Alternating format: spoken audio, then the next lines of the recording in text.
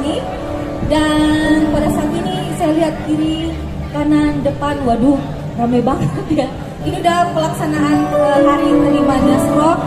Kita berikan apresiasi atas suksesnya Niaspro 2023. Oke malam ini eh, di lagu pertama saya coba mau bawa lagu. Ini sebenarnya lagunya tertuju untuk mantan. Di sini siapa mantannya paling banyak?